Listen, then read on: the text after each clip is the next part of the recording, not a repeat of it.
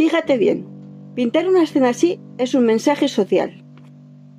¿Cuándo y cómo decides lo que vas a pintar?